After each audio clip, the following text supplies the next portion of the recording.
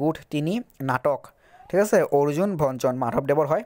চ' এতিয়া অতি চমু প্ৰশ্ন উত্তৰবোৰ পঢ়িম। তাৰ আগতে এটা দৰকাৰী কথা যে অৰ্জুন ভঞ্জন নাটক আন কি নামেৰে জনা যায়? দধি মথন। ঠিক আছে? দধি মথন ওৱান মাৰ্কছৰ কুৱেশ্যন হিচাপে আহা দেখা যায়। প্ৰায় আহে। ঠিক আছে? যে অৰ্জুন ভঞ্জন নাটক আন কি নামেৰে জনা যায়? দধি মথন। আৰু আমি গম পাইছোঁ যে মাধৱদেৱ ইয়াৰ মানে ৰচয়িতা। এতিয়া আমি চমু প্ৰশ্ন উত্তৰবোৰ চাম। মাজে অতি চমু প্ৰশ্ন উত্তৰ যে মাধৱদেৱৰ অৰ্জুন ভঞ্জনৰ বাহিৰে বাকী নাটকেইখনক কি বুলি কোৱা হয়? ঝুমুৰা বুলি কোৱা হয়। আহে যে মাধৱদেৱৰ দুখন ঝুমুৰাৰ নাম লিখা তোমালোকে তেতিয়া লিখিব লাগিব। চুৰ ধৰা পিম্পৰা গুচোৱা ভূমি লিটোৱা ভোজন বিহাৰ আছে পিছলৈ প্ৰশ্ন আছে দেখুৱাই দিম টু মাৰ্কছৰ হিচাপে। ঠিক আছে চোৱা এতিয়া দুই নম্বৰ প্ৰশ্নটো যে মাধৱদেৱৰ ৰচিত বৰগীতৰ সংখ্যা কিমান? এশ সাতাৱন্নটা। এতিয়া তিনি নম্বৰ প্ৰশ্ন মাধৱদেৱৰ অন্যতম ৰচনা ভক্তি ৰচনা বুলি পুথিখনৰ মূল লেখক কোন? মনত ৰাখিবা বিষ্ণুপুৰী সন্যাসী। ঠিক আছে এতিয়া চাৰি নম্বৰ মাধৱদেৱৰ নাটসমূহৰ প্ৰধান চৰিত্ৰ কি? শিশু কৃষ্ণ দেই। মাধৱদেৱৰ নাটসমূহৰ প্ৰধান বৈশিষ্ট্য হৈছে শিশু কৃষ্ণ। মনত ৰাখিবা। শিশু কৃষ্ণ। তাৰপিছত মাধৱদেৱৰ পাঁচ নম্বৰ। মাধৱদেৱৰ ঝুমুৰা কেইখনৰ নাম উল্লেখ কৰা। এইটো তোমালোকৰ টু মাৰ্কছৰ কুৱেশ্যন হিচাপে আহিব। মাধৱদেৱৰ দুখন ঝুমুৰাৰ নাম লিখা। মনত ৰাখিবা চুৰ ধৰা আছে পিম্পৰা গুচোৱা আছে ভূমিলেটুৱা আছে ভোজন বিহাৰ চাৰিখন আছে। তাৰপিছত আমাৰ পৰৱৰ্তী প্ৰশ্ন কাৰ অনুৰোধত মাধৱদেৱে নাম মালিকা গ্ৰন্থখন অনুবাদ কৰিছিলে? মনত ৰাখিবা কোচ ৰজাৰ মানে কোচ ৰজাৰ মানে বৃদ্ধ মন্ত্ৰী মানে বিৰূপাক্ষ কাজীৰ অনুৰোধত। প্ৰশ্নটোৰ আন ধৰণে আহে এটা বেলেগ ধৰণে আহে কৈ দিওঁ যে নাম মালিকা গ্ৰন্থখন কোনে অনুবাদ কৰিছিলে? মহাপুৰুষ শ্ৰীমন্ত শংকৰদেৱে ঠিক আছে? মহা মাধৱদেৱে মাধৱদেৱে। মহাপুৰুষ মাধৱদেৱে ৰচনা কৰিছে। শংকৰদেৱে গুণমালা ৰচনা কৰিছিল ঠিক আছে? গুণমালা শংকৰদেৱে ৰচনা কৰিছিলে আৰু নাম মালিকা মাধৱদেৱে ৰচনা কৰিছিল ঠিক আছে? মনত ৰাখিবা নাম মালিকা মাধৱদেৱে আৰু গুণমালা শংকৰদেৱে। এতিয়া পৰৱৰ্তী প্ৰশ্নলৈ আগবাঢ়িম আমি। পৰৱৰ্তী প্ৰশ্ন হৈছে যে অৰ্জুন ভঞ্জন নাটৰ মূল কি? অৰ্জুন ভঞ্জন নাটৰ মূল হৈছে ভাগৱতৰ দশম স্কন্ধ ভাগৱত পুৰাণৰ দশম স্কন্ধ। অৰ্জুন ভঞ্জন নাটৰ মূল হৈছে ভাগৱত পুৰাণৰ দশম স্কন্ধ। দশম স্কন্ধ ভাগৱতৰ মানে নৱমৰ পৰা দশম অধ্যায়ত অৰ্জুন ভঞ্জন নাটৰ কাহিনীভাগ বৰ্ণিত হৈছে। মনত ৰাখিবা দেই। আৰু কি কৰা হৈছে? নাটৰ সংযুক্ত নন্দ যশোদা দাম্পতীৰ কলহৰৰ কলহৰ মানে বৰ্ণনাখিনি মূল ভাগৱতৰ নহয়। নাট্যকাৰৰ নিজস্ব সৃষ্টি। অৰ্থাৎ মানে নন্দ যশোদাৰ যি কলহ কলহ হৈছিলে অৰ্থাৎ কাজিয়াৰ সূত্ৰপাত হৈছিলে সেই সূত্ৰপাতটো মানে ভাগৱতৰ দশম স্কন্ধত নাই। এইটো মানে নাট্যকাৰৰ নিজা সৃষ্টি মাধৱদেৱে নিজাকে সৃষ্টি কৰিছে। এতিয়া দুই নম্বৰ পৰৱৰ্তী প্ৰশ্ন। অৰ্জুন ভঞ্জন নাটৰ বিষয়বস্তু কি? অৰ্জুন ভঞ্জন নাটৰ বিষয়বস্তু মানে তিনিটা স্তৰত লক্ষ্য কৰা যায়। প্ৰথম শিশু কৃষ্ণ আৰু দ্বিতীয়টো হৈছে তোমাৰ মাতৃ যশোদাৰ স্নেহপূৰ্ব বিৰোধ।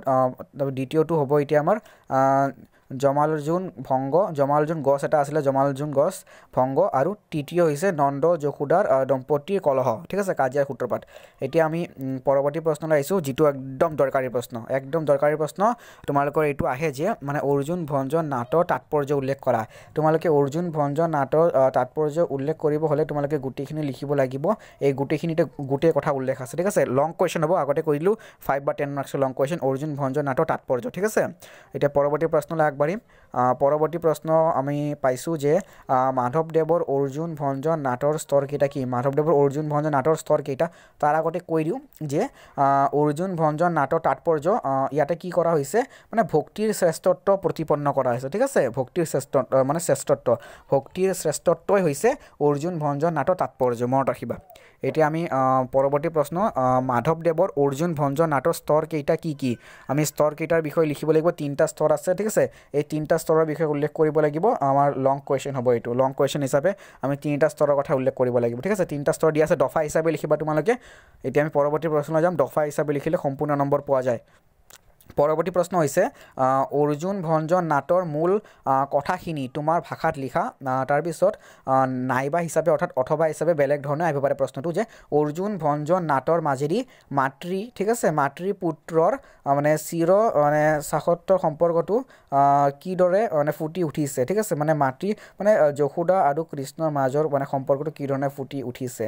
তোমালোকে এইখিনি লিখাৰ আগতে এটা কথা উল্লেখ কৰিব লাগিব যে অৰ্জুন ভঞ্জন নাটৰ কাহিনীভাগ মূল ভাগ ভাগৱতৰ দশম স্কন্ধৰ আধাৰত ৰচিত ঠিক আছে? দশম স্কন্ধৰ আধাৰত ৰচিত। আৰু ইয়াতে মানে শ্ৰীকৃষ্ণৰ মানে শিশু কৃষ্ণৰ মানে চৰিত্ৰৰ মাজেৰে মনত ৰাখিবা শিশু কৃষ্ণৰ চৰিত্ৰৰ মাজেৰে কি কৰা হৈছে? এই মানে কাহিনীটো অৰ্থাৎ এই গোটেই মানে কাহিনীটোৰ চৰিত্ৰবোৰ বৰ্ণনা কৰা হৈছে। তোমালোকে লং কুৱেশ্যন হ'ব। তোমালোকেতো নিজৰ ভাষাৰে লিখিব দিছে নিজৰ ভাষাৰে বনাই লিখিব দিছে মনত ৰাখিবা। গতিকে অৰ্জুন ভঞ্জন নাটৰ মূল কথাখিনি মূল বিষয়বস্তু সাৰাংশ তোমালোকে ধুনীয়াকৈ লিখিবা একদম দৰকাৰী প্ৰশ্ন হ'ব। এতিয়া পৰৱৰ্তী আমি কুৱেশ্যনলৈ আগবাঢ়িম। পৰৱৰ্তী কুৱেশ্যন হৈছে চোৱা যে অৰ্জুন ভঞ্জন নাটৰ মানে চৰিত্ৰ ঠিক আছে? চৰিত্ৰৰ ওপৰত চমুটোকা আহে মই গোটেইখিনি চৰিত্ৰ দি দিছোঁ তাৰ আগতে প্ৰশ্নটো পঢ়ি দিওঁ। চোৱা অৰ্জুন ভঞ্জন নাটৰ চৰিত্ৰ চিত্ৰণত নাট্যকাৰৰ কিমান দূৰ সফল হৈছে আলোচনা কৰা। অৰ্জুন ভঞ্জন মানে নাটৰ চৰিত্ৰ মানে চিত্ৰণৰ নাট্যকাৰ কিমান দূৰ সফল হৈছে আলোচনা কৰা যে চৰিত্ৰ নাটৰ এক গুৰুত্বপূৰ্ণ উপাদান। চৰিত্ৰসমূহ স্বকীয় বৈশিষ্ট্যৰে সমুজ্জ্বল নহ'লে মানে নাট্যৰস ব্যাহত নহয় পোৱা নাযায় মানে। নাটকীয় কাহিনীৰ বিকাশ চৰিত্ৰ অবিহনে সম্ভৱ হ'ব নোৱাৰে। চৰিত্ৰ নিখুঁত চিত্ৰণে কাহিনী এটাক মানে চিত্তাকৰ্ষক মানে কৰি তোলে আকৰ্ষণীয় কৰি তোলে ঠিক আছে? কাহিনী আৰু চৰিত্ৰ মানে দৰকাৰী উপাদান হয় মনত ৰাখিবা নাটকৰ। এতিয়া মানে আমি চৰিত্ৰবোৰ চাব লাগিব চমু টুকুৰা হিচাপে মই দেখুৱাই দি আছোঁ ৰ'বা। প্ৰথমতে কৃষ্ণ কৃষ্ণৰ চৰিত্ৰটো চাবা তোমালোকে কৃষ্ণ হৈছে মানে মুখ্য চৰিত্ৰ ঠিক আছে? কৃষ্ণ হৈছে মুখ্য চৰিত্ৰ শিশু কৃষ্ণ। তাৰপিছত আমি পাম যশোদা চৰিত্ৰ যশোদা চৰিত্ৰ যশোদা চৰিত্ৰ হৈছে স্ত্ৰী চৰিত্ৰ যশোদা হৈছে শ্ৰীকৃষ্ণৰ মানে ভগৱান শ্ৰীকৃষ্ণৰ মানে পালিত মাতৃ ঠিক আছে? পালিত মাতৃ আৰু শ্ৰীকৃষ্ণৰ জন্মদাতী মাতৃৰ ওপৰত শ্বৰ্ট কুৱেশ্যন যে কোন হয় জন্মদাতী মাতৃ দৈৱকী মনত ৰাখিবা। ভগৱান শ্ৰীকৃষ্ণ জন্মদাতী মাতৃ দৈৱকী এতিয়া পৰৱৰ্তী হৈছে আমাৰ নন্দ। নন্দৰ ওপৰত চমুটুকা চাবা ঠিক আছে? আন এটি আমাৰ পুৰুষ চৰিত্ৰ হৈছে নন্দ। এতিয়া আৰু শেষত আছে আমাৰ ৰোহিণী। ৰোহিণী হৈছে বলৰামৰ মাক হয়। তোমালোকে এই চৰিত্ৰবোৰ চমুটুকা হিচাপে চাবা ঠিক আছে? চোৱা গোটেইখিনি হৈ গ'ল এতিয়া তলত উল্লেখ কৰিব লাগিব যে এই কাহিনীৰ চৰি মানে চৰিত্ৰখিনিয়ে কি কৰিছে নাটকখনত সংযোজন কৰিছে আৰু নাটকখনক এক বিশেষ মানে আকৰ্ষণীয় কৰি তুলিছে। এতিয়া আমি পৰৱৰ্তী অধ্যায়লৈ আহিছোঁ পৰৱৰ্তী গোট চাৰি চাৰি গোটৰ মানে প্ৰথম পাঠ। এক মানে অৰ্জুনৰ সাংখ্যক যুগ। মনত ৰাখিবা বৈকুণ্ঠন বৈকুণ্ঠনাথ ভট্টাচাৰ্য এতিয়া প্ৰথমতে আমি ইয়াতে পাম ভট্টদেৱৰ কথা পাম ভট্টদেৱৰ গদ্য ৰীতিৰ বিষয়ে পাম ভট্টদেৱৰ মানে গদ্য শৈলীৰ বিষয়ে পাম টেন মাৰ্কছৰ লং কুৱেশ্যন যিটো তোমালোকৰ পৰীক্ষাত মানে প্ৰতিবাৰে আহে। ঠিক আছে ভট্টদেৱৰ বিষয়ে যি লেচন দিয়ক তাতে তোমালোকে ভট্টদেৱৰ গদ্য ৰীতিৰ সম্পৰ্কে প্ৰশ্ন পাবাই পাবা। ঠিক আছে চ' এতিয়া প্ৰথমতে মই আলোচনা কৰাই দি আছোঁ যে অৰ্জুনৰ সাংখ্যক যুগ। ঠিক আছে এতিয়া প্ৰথমতে ওৱান মাৰ্কছৰ প্ৰশ্নবোৰ পঢ়িম যে অতি চমু প্ৰশ্ন উত্তৰ। ভট্টদেৱৰ প্ৰকৃত নাম কি? বৈকুণ্ঠনাথ ভাগৱত ভট্টাচাৰ্য। বৈকুণ্ঠনাথ ভাগৱত ভট্টাচাৰ্য য'ত তোমালোকে ওৱান মাৰ্কছৰ প্ৰতিবাৰে প্ৰশ্ন আহে পাবা। তাৰপিছত ভট্টদেৱৰ ক'ত জন্মগ্ৰহণ কৰিছিলে? ভট্টদেৱে জন্মগ্ৰহণ ক'ত কৰিছিলে? মানে প্ৰাচীন কামৰূপ জিলাৰ বৰ্তমান বৰপেটা জিলাৰ মানে ভেৰা গাঁৱত। ঠিক আছে মনত ৰাখিবা।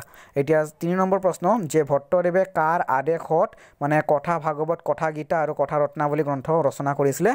তেওঁৰ গুৰু আছিলে দামোদৰ দেৱ। দামোদৰ দেৱৰ ঠিক আছে মনত ৰাখিবা। ভট্টদেৱে কথা গীতা কথা ভাগৱত আৰু কথা ৰত্নাৱলী গুৰু দামোদৰ দেৱৰ আজ্ঞাত ৰচনা কৰিছিলে ঠিক আছে? ওৱান মাৰ্কছৰ কুৱেশ্যন আহে যে ভট্টদেৱৰ গুৰু কোন? ভট্টদেৱৰ গুৰু হৈছে দামোদৰ দেৱ মনত ৰাখিবা। এতিয়া চাৰি নম্বৰটো হৈছে অসমীয়া গদ্য সাহিত্যৰ ইতিহাস মানে কাৰ পৰা আৰম্ভ হোৱা বুলি কোৱা হয়? অসমীয়া গদ্য সাহিত্যৰ ইতিহাস ভট্টদেৱৰ পৰাই প্ৰকৃততে আৰম্ভ হোৱা বুলি কোৱা হয়।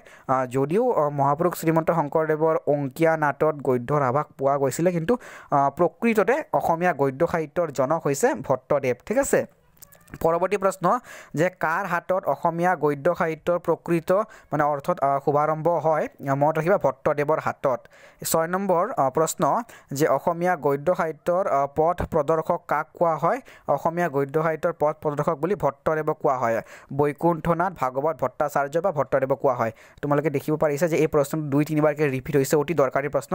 আৰু মনত ৰাখিবা ভট্টদেৱৰ প্ৰকৃত নামটো মনত ৰাখিবা বৈকুণ্ঠনাথ ভাগৱত ভট্টাচাৰ্য। এতিয়া আমি পৰৱৰ্তী প্ৰশ্ন সাত নম্বৰটো পঢ়ি পঢ়িম যে প্ৰকৃত অসমীয়া গদ্যৰ সৃষ্টিকৰ্তা কোন? ভট্টদেৱ। চ' আকৌ ৰিপিট হৈছে চাইছা? দৰকাৰী প্ৰশ্ন একদম ইম্পৰ্টেণ্ট তাৰপিছত পৰৱৰ্তী প্ৰশ্ন হৈছে যে ভট্টদেৱৰ মানে ভক্তি বিবেক গ্ৰন্থ কি ভাষাত লিখা? ভট্টদেৱৰ ভক্তি বিবেক গ্ৰন্থ কি ভাষাত লিখা? সংস্কৃত ভাষাত লিখা। অতি দৰকাৰী প্ৰশ্ন ঠিক আছে? পৰৱৰ্তী প্ৰশ্ন ভট্টদেৱৰ পিতৃ নাম কি আছিলে? ভট্টদেৱৰ পিতৃ নাম আছিলে চন্দ্ৰ ভাৰতী। পৰৱৰ্তী প্ৰশ্ন দহ নম্বৰ যে ভট্টদেৱে কাৰ কাৰ ওচৰত শৰণ লৈছিল। ভট্টদেৱে দামোদৰ দেৱৰ ওচৰত শৰণ লৈছিলে। তেওঁৰ গুৰু আছিলে মনত ৰাখিবা প্ৰশ্ন আহে ভট্টদেৱৰ গুৰু কোন? দামোদৰ দেৱ। এতিয়া আমি পৰৱৰ্তী প্ৰশ্নলৈ আগবাঢ়িম। পৰৱৰ্তী প্ৰশ্নলৈ আহিছোঁ যে ভট্টদেৱৰ লেখনিৰ প্ৰধান বৈশিষ্ট্য কি? ভট্টদেৱৰ লেখনিৰ প্ৰধান বৈশিষ্ট্য হৈছে যে জটিল দাৰ্শনিক তত্ত্ব কথা তেওঁ কি কৰে? সৰল সহজ সৰল কৰি বুজাই দিয়ে। ভট্টদেৱৰ লেখনি ব্যাখ্যামূলক আৰু অনুবাদমূলক হ'লেও তাৰ ভিতৰত সম্পূৰ্ণ মৌলিকতা আছে আৰু অসামান্য প্ৰকাশ শক্তিয়ে তাক অতি ৰমণীয় কৰি তুলিছে। ঠিক আছে? আৰু তাৰ উপৰিও তেওঁ তৎসম শব্দৰ প্ৰয়োগ কৰিছে আৰু চুটি চুটি মানে বাক্যৰ তেওঁ ব্যৱহাৰ কৰিছে ঠিক আছে মনত ৰাখিবা। তৎসম শব্দৰ ব্যৱহাৰ কৰিছে তেওঁ আৰু এক সৌষ্ঠপূৰ্ণ তেওঁ এটা ভাষাশৈলী ৰচনা কৰিছে।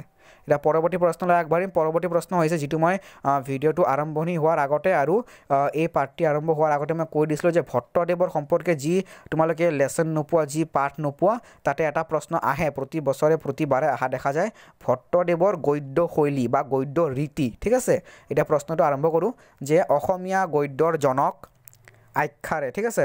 অসমীয়া গদ্যৰ জনক আখ্যাৰে বিভূষিত ভট্টদেৱৰ গদ্যশৈলীৰ বৈশিষ্ট্যসমূহ আলোচনা কৰা। মই ইতিমধ্যে কৈ দিছোঁ যে ভট্টদেৱৰ গদ্য ৰীতি বা গদ্যশৈলীৰ ওপৰত তোমালোকৰ বৈশিষ্ট্যবোৰ আহে। গতিকে প্ৰশ্নটোৰ উত্তৰ তোমালোকে লিখিব হ'লে প্ৰথমতে ক'ব লাগিব যে ভট্টদেৱৰ গদ্যশৈলী হৈছে মানে জটিল তত্ত্ব কথাৰ পৰিৱৰ্তে সহজ সৰল ৰূপে তেওঁ বুজাই দিয়ে আৰু তেওঁৰ সম্পূৰ্ণ মৌলিকতা পোৱা যায় তেওঁৰ মানে কাব্য ঠিক আছে গতিকে গোটেইখিনি গদ্য তেওঁৰ গদ্যত পোৱা যায় গোটেইখিনি মৌলিকতা পোৱা যায় তেওঁ গদ্য সাহিত্যৰ জনক।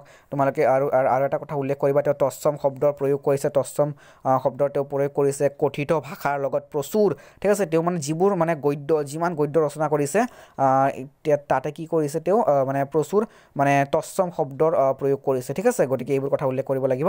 এতিয়া আমি পৰৱৰ্তী প্ৰশ্নলৈ আগবাঢ়িম এইটো লং কুৱেশ্যন টেন মাৰ্কছৰ দেই মনত ৰাখিবা। এতিয়া পৰৱৰ্তী প্ৰশ্নলৈ আগবাঢ়ি আছোঁ। পৰৱৰ্তী প্ৰশ্ন হৈছে চোৱা যে অসমীয়া গদ্য সাহিত্যত ভট্টদেৱৰ স্থান নিৰ্ণয় কৰা। প্ৰশ্নটোৰ উত্তৰ প্ৰায় এইটোৰ লগত একদম ছেইমে ক'ব গ'লে। অকণমান বেলেগ তোমালোকে ধুনীয়াকৈ এটা কাম কৰিব পাৰা। দুটা প্ৰশ্ন লিখি মানে এটা এনচাৰ লিখিব পাৰা। তোমালোকে নিজাকৈ নিজৰ ইচ্ছামতে লিখিব পাৰা বনাই কিনে। তথাপি মই দুটা প্ৰশ্ন দি দিছোঁ যেতিয়া বেলেগ বেলেগকৈ লিখিলে তোমালোকৰ সুবিধা হ'ব ধুনীয়াকৈ। যদি বেলেগ বেলেগকৈ লিখিলে ধুনীয়াকৈ বুজাত সুবিধা হ'ব। চোৱা অসমীয়া গদ্য সাহিত্যত ভট্টদেৱৰ স্থান নিৰ্ণয় কৰা। উত্তৰটো হৈছে মানে ভট্টদেৱে মানে গীতা ভাগৱত আৰু ৰত্নাৱলী ঠিক আছে? অৰ্থাৎ কথাগীতা কথা ভাগৱত আৰু কথা ৰত্নাৱলী এই তিনিখন মানে ভাৱগধুৰ গ্ৰন্থ অসমীয়ালৈ অনুবাদ কৰি অসমীয়া মানে গদ্য ভাষাৰ মানে প্ৰকাশীয়া শক্তিত্ব পৰিচয় দিয়ে। এই ভাষাক কথিত ভাষাৰ ওপৰত ভিত্তি কৰি লিখিলেও ইয়াত সুকীয়া বিশেষত্ব আছিলে। তোমালোকে এতিয়া মানে অসমীয়া গদ্য সাহিত্যৰ ইতিহাসত ভট্টদেৱৰ দান অৱদান স্থান মানে তাৎপৰ্য গোটেইখিনি লিখিব লাগিব। উত্তৰটো মই দেখুৱাই দি আছোঁ ৰ'বা। তোমালোকৰ উত্তৰটো ইয়াৰ পৰা ষ্টাৰ্ট হ'ব। এই গোটেই দফাটো লিখিবা। তোমালোকৰ লং কুৱেশ্যন টেন মাৰ্কছৰ হ'ব। আকৌ কৈ দি আছোঁ অসমীয়া গদ্য সাহিত্যত ভট্টদেৱৰ স্থান ভট্টদেৱৰ স্থান এক বিশেষ স্থান আছে সুকীয়া স্থান আছে। ভট্টদেৱে কি কৰিছে? তেওঁৰ বাক্যবোৰ সাধাৰণতে চুটি চুটি ৰূপে প্ৰকাশ কৰিছে। তেওঁ মানে জটিলতা মানে জটিলতা পৰিহাৰ কৰি তেওঁ কি কৰিছে? মানে সহজ সৰলভাৱে তেওঁ বুজাই দিছে। তৎসম শব্দৰ লগত কথিত কথিত শব্দৰ লগত তেওঁ তৎসম শব্দৰ তেওঁ ব্যৱহাৰ কৰিছে প্ৰয়োগ কৰিছে। গোটেইখিনি লিখিব লাগিব। গতিকে টেন মাৰ্কছৰ লং কুৱেশ্যন হ'ব। ঠিক আছে এইটো। এতিয়া আমি পৰৱৰ্তী অধ্যায়লৈ যাম। পৰৱৰ্তী গোট পৰৱৰ্তী গোট এতিয়া চতুৰ্থ গোটৰ এতিয়া আমি পাঠ দুইত আহি পাইছোঁ অন্তিম পাঠ দুই ঠিক আছে? চোৱা কথা সাহিত্য ৰঘুনাথ মহন্ত ৰামৰ বন গমন চোৱা ওৱান মাৰ্কছৰ শ্বৰ্ট কুৱেশ্যন দি আৰম্ভ হ'ব। তাৰ আগতে এটা দৰকাৰী কথা তোমালোকে মানে ইয়াতে একদম লাষ্টলৈকে চাবা এটা লাষ্টত এটা কমন ইম্পৰ্টেণ্ট প্ৰশ্ন যে ৰামৰ বন গমন পাৰ্টিৰ মানে মূল কথাখিনি আলোচনা কৰা মূলভাৱ সাৰাংশ গোটেইখিনি আলোচনা কৰিব দিছে মানে লং কুৱেশ্যন টেন মাৰ্কছৰ যদি আহে সেই প্ৰশ্নটো লিখিলে হৈ যাব। তাৰ আগতে আমি শ্বৰ্ট কুৱেশ্যনবোৰ আলোচনা কৰিলোঁ। চোৱা যে ৰামৰ বন গমন ৰঘুনাথ মহন্ত পাঠ দুই গোট চাৰি। এতিয়া আমাৰ অতি চমু প্ৰশ্ন উত্তৰ প্ৰথমটো প্ৰশ্ন এক নম্বৰ যে ৰামৰ বন গমন পাঠটোৰ লেখক কোন? ৰঘুনাথ মহন্ত। দ্বিতীয়টো প্ৰশ্ন হৈছে ৰামৰ বন গমন পাঠটি ক'ৰ পৰা চয়ন কৰা হৈছে বা লোৱা হৈছে? ৰামৰ বন গমন পাঠটি ৰামায়ণৰ অযোধ্যা কাণ্ডৰ দ্বিতীয় আৰু তৃতীয় অধ্যায়ৰ পৰা চয়ন কৰা হৈছে। ঠিক আছে মনত ৰাখিবা। অযোধ্যা কাণ্ডৰ ৰামায়ণৰ অযোধ্যা কাণ্ডৰ দ্বিতীয় আৰু তৃতীয় অধ্যায়ৰ পৰা চয়ন কৰা হৈছে। তিনি নম্বৰটো হৈছে ৰঘুনাথ মহন্ত কোন আছিল? ৰঘুনাথ ৰঘুনাথ মহন্ত দৈয়াং এলেঙি সত্ৰৰ প্ৰতিষ্ঠাতা মনত ৰাখিবা ঠিক আছে? দৈয়াং এলেঙি সত্ৰৰ প্ৰতিষ্ঠাতা হৰিকৃষ্ণৰ নাতি ৰঘুনাথ মহন্ত আছিল অসমীয়া ৰামায়ণী সাহিত্যৰ অন্যতম স্ৰষ্টা। মনত ৰাখিবা। চাৰি নম্বৰ হৈছে ৰঘুনাথ মহন্তৰ পিতৃৰ নাম কি আছিল? ৰঘুনাথ মহন্তৰ পিতৃৰ নাম আছিল কৃষ্ণনাথ মহন্ত। মহন্ত ৰাখিবা কৃষ্ণনাথ মহন্ত। এতিয়া পাঁচ নম্বৰটো হৈছে ৰঘুনাথ মহন্তই ৰচনা কৰা গ্ৰন্থ কেইখন আৰু কি কি? ৰঘুনাথ মহন্তই ৰচনা কৰা গ্ৰন্থ হৈছে কথা ৰামায়ণ উদ্ভুত ৰামায়ণ আৰু শত্ৰুঞ্জয় কাব্য। শত্ৰুঞ্জয় কাব্য তেওঁ প্ৰথম ৰচনা আছিলে আমি পৰৱৰ্তী প্ৰশ্ন পাম ৰ'বা। এতিয়া ছয় নম্বৰটো ছয় নম্বৰটো হৈছে ৰঘুনাথ মহন্তৰ প্ৰথম ৰচনা শত্ৰুঞ্জয় কাব্য কোন চনত সম্পূৰ্ণ হয়? মই ইতিমধ্যে কৈছিলোঁ যে শত্ৰুঞ্জয় তেওঁৰ প্ৰথম কাব্য আছিলে। চোৱা উত্তৰটো হৈছে ৰঘুনাথ মহন্তৰ প্ৰথম ৰচনা শত্ৰুঞ্জয় কাব্য সোতৰশ ছয়ত্ৰিছ চনত সম্পূৰ্ণ হয়। সাত নম্বৰ শত্ৰুঞ্জয় কাব্যক আন কি নামেৰে জনা যায়? শত্ৰুঞ্জয় কাব্যক এই কাব্যক বালিৰ দিগ্বিজয়ী বুলিও জনা যায়। আহে দেই চাবা দৰকাৰী প্ৰশ্ন। এতিয়া আঠ নম্বৰ ৰঘুনাথ মহন্তৰ অন্তিম ৰচনা কি? ৰঘুনাথ মহন্তৰ অন্তিম ৰচনা আছিলে কথা ৰামায়ণ। ঠিক আছে মনত ৰাখিবা। কথা ৰামায়ণ ৰঘুনাথ মহন্তৰ মানে অন্তিম ৰচনা। ঠিক আছে শেষ বয়সৰ ৰচনা। ন নম্বৰ ৰঘুনাথ মহন্তই ৰচনা কৰা শ্ৰেষ্ঠ গ্ৰন্থখন কি আছিলে? শ্ৰেষ্ঠ গ্ৰন্থখনৰ নাম কি? সোতৰশ একাশী চনত ৰচনা কৰা কথা ৰামায়ণ ৰঘুনাথ মহন্তৰ শ্ৰেষ্ঠ গ্ৰন্থ আছিলে। এতিয়া দহ নম্বৰ যে ৰঘুনাথ মহন্তই কাৰ দ্বাৰা প্ৰভাৱিত হৈ কথা ৰামায়ণ ৰচনা কৰে? ৰঘুনাথ মহন্তই কথা ৰামায়ণ ৰচনা কৰে অপ্ৰমাদী কবি মাধৱ কণ্ডলীৰ দ্বাৰা প্ৰভাৱিত হৈ। আৰু মাধৱ কণ্ডলীক অপ্ৰমাদী কবি বুলি কোনে কৈছিলে? কেতিয়াবা প্ৰশ্ন আহে দেই। মনত ৰাখিবা মহাপুৰুষ শ্ৰীমন্ত শংকৰদেৱে কৈছিলে। এতিয়া পৰৱৰ্তী প্ৰশ্নলৈ আগবাঢ়িম আমি। আমি পৰৱৰ্তী প্ৰশ্নলৈ আহি পাইছোঁ। পৰৱৰ্তী প্ৰশ্ন হৈছে যে ৰঘুনাথ মহন্তৰ কাব্যকৃতিৰ বিষয়ে আলোচনা কৰিব দিছে। অৰ্থাৎ সাহিত্যকৃতিৰ বিষয়ে আলোচনা কৰিব দিছে। তোমালোকে পাবা প্ৰশ্ন ফাইভ বা টেন মাৰ্কছৰ লং কুৱেশ্যন ৰঘুনাথ মহন্তই ৰচনাৰাজি নাইবা সাহিত্যৰ সম্পৰ্কে আলোচনা কৰা। আমি ইতিমধ্যে পাইছোঁ যে ৰঘুনাথ মহন্তই ইতিমধ্যে তিনিখন কাব্য ৰচনা কৰিছে। তেওঁ মাধৱ কণ্ডলীৰ দ্বাৰা প্ৰভাৱিত হৈ তেওঁ কথা ৰামায়ণ তেওঁ ৰচনা কৰিছে। তাৰপিছত তেওঁ কথা ৰামায়ণৰ লগতে উদ্ভুত ৰামায়ণ ৰচনা কৰিছে শত্ৰুঞ্জয় কাব্য ৰচনা কৰিছে। এই তিনিখন কাব্যৰে তেওঁৰ মানে ৰামায়ণ হৈছে তেওঁৰ মানে কথা ৰামায়ণ তেওঁৰ শ্ৰেষ্ঠ মৃত্যুঞ্জয় তেওঁৰ শত্ৰুঞ্জয় তেওঁৰ প্ৰথম ৰচনা ঠিক আছে? আৰু কথা ৰামায়ণ তেওঁৰ শেষৰ ৰচনা আৰু শ্ৰেষ্ঠ ৰচনা মনত ৰাখিবা। তেওঁৰ দ্বিতীয় ৰচনা হৈছে উদ্ভুত ৰামায়ণ তেওঁৰ দ্বিতীয়খন ৰচনা মনত ৰাখিবা। ঠিক আছে? গতিকে এইখিনি লিখিব লাগিব গোটেইখিনি লং কুৱেশ্যন ফাইভ বা টেন মাৰ্কছৰ হ'ব। অ'কে এতিয়া আমি পৰৱৰ্তী প্ৰশ্নলৈ আগবাঢ়িম। পৰৱৰ্তী প্ৰশ্নত আহি পাইছোঁ। পৰৱৰ্তী প্ৰশ্নৰ অৰ্থাৎ ব্যাখ্যা এটাই আছিলে এটাই দি দিছোঁ যে মানে প্ৰসংগ সংগঠিত ৰখা ব্যাখ্যা কৰা যে স্ত্ৰীৰ হেনয় চৰিত্ৰ যাত অতি অনিৰুক্ত ঠিক আছে তাত তিলকে বিৰক্ত। ইয়াতে মানে স্ত্ৰী জাতিৰ কথা উল্লেখ কৰা হৈছে মই আকৌ কৈ দি আছোঁ যে স্ত্ৰীৰ হেনয় চৰিত্ৰ জাত অতি অনুৰক্ত তাত তিলেকে বিৰক্ত ঠিক আছে? গতিকে ইয়াতে স্ত্ৰী জাতিৰ চৰিত্ৰৰ কথা কোৱা হৈছে অৰ্থাৎ তিৰোতাসকলে কি কৰে? তিৰোতাসকলে মানে বিশেষভাৱে কিবা এটা বস্তুৰ প্ৰতি যদি অনুৰক্ত হয় অতি সোনকালে অতি খন্তেকে তাৰ পৰা বিৰক্তও হয় ঠিক আছে? গতিকে সেই কথা উল্লেখ কৰিব দিছে। ব্যাখ্যা এটাই আছিলে এটাই দি দিছোঁ একদম কম্পালচাৰী আহিবলগীয়া ভিতৰত পৰিব ইম্পৰ্টেণ্ট হয় চাবা তোমালোকে এইটো ঠিক আছে? এতিয়া পৰৱৰ্তী প্ৰশ্নলৈ যাম আমি। পৰৱৰ্তী প্ৰশ্নলৈ আহি পাইছোঁ। পৰৱৰ্তী প্ৰশ্ন হৈছে ৰঘুনাথ মহন্তৰ গদ্য ৰীতি যিদৰে আমি মানে ভট্টদেৱৰ গদ্য ৰীতি আলোচনা কৰিছোঁ ঠিক সেইদৰে মানে ৰঘুনাথ মহন্তৰ ক্ষেত্ৰত গদ্য ৰীতি সম্পৰ্কে প্ৰশ্ন আহিব পাৰে ঠিক আছে? লং কুৱেশ্যনে আহিব টেন মাৰ্কছৰ বা ফাইভ মাৰ্কছৰ টেন লং কুৱেশ্যনে আহিব। চোৱা মানে গদ্য সাহিত্যৰ জনক ভট্টদেৱৰ গদ্যশৈলীতকৈ ৰঘুনাথ মহন্তৰ গদ্যশৈলী বহুখিনি পৰিৱৰ্তন হৈছে মানে বেলেগ পৃথক পৃথক আছে ঠিক আছে? গতিকে সেই সম্পৰ্কে তোমালোকে লিখিব লাগিব তোমালোকে গোটেইখিনি এনচাৰটো দেখুৱাই দি আছোঁ ইয়াৰ পৰা ষ্টাৰ্ট হ'ব একদম ইয়ালৈকে শেষ কৰিবা ঠিক আছে? গতিকে এইখিনিলৈকে লিখিব লাগিব মানে ৰঘুনাথ মহন্তৰ গদ্যশৈলী বা গদ্য ৰীতি ঠিক আছে? গতিকে তোমালোকৰ এইটো টেন মাৰ্কছৰ লং কুৱেশ্যন হ'ব। গদ্য ৰীতি ৰঘুনাথ মহন্তৰ গদ্য ৰীতি মনত ৰাখিব টেন মাৰ্কছৰ লং কুৱেশ্যন হ'ব দেই অতি দৰকাৰী প্ৰশ্ন। এতিয়া আমি পৰৱৰ্তী প্ৰশ্নলৈ যাম। এতিয়া আমি পৰৱৰ্তী প্ৰশ্নলৈ আহি পাইছোঁ।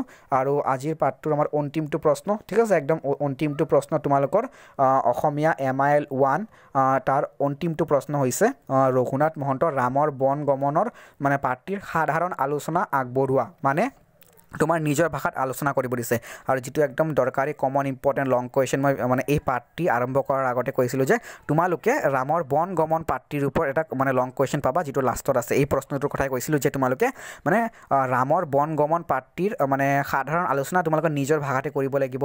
তোমালোকে আৰম্ভণি দিব লাগিব যে ৰঘুনাথ মহন্তৰ ৰামৰ বন গমন শীৰ্ষক পাঠটি কৰ পৰা কথা ৰামায়ণৰ পৰা লোৱা হৈছে। কথা ৰামায়ণৰ অযোধ্যা কাণ্ডৰ দ্বিতীয় দ্বিতীয় ঠিক আছে দ্বিতীয় তৃতীয় অধ্যায়ৰ অন্তৰ্গত। দশৰথ ইয়াত কি কৰা হৈছে? ইয়াত ৰজা দশৰথে মানে ৰামৰ যি ৰাজ অভিষেক আছিলে ৰাজ অভিষেক কৰিবলৈ যুঁজা কৰাৰ ঠিক আছে পাছৰে পৰা যুঁজা কৰাৰ পাছৰে পৰা অযোধ্যাত সংঘটিত ঘটনাৰাজিৰ বৰ্ণনা কৰা হৈছে। মানে ৰজা ঠিক আছে ৰজা দশৰথে মানে ৰামৰ ৰাজ অভিষেক কৰিবলৈ যি যুঁজা চলাইছিলে তাৰ পাছৰে পৰা অযোধ্যাত যিবোৰ ঘটনা হৈছে সেই ঘটনাৱলীৰ গোটেইখিনি পুংখানুপুংখ বৰ্ণনা মানে ক'ত আছে?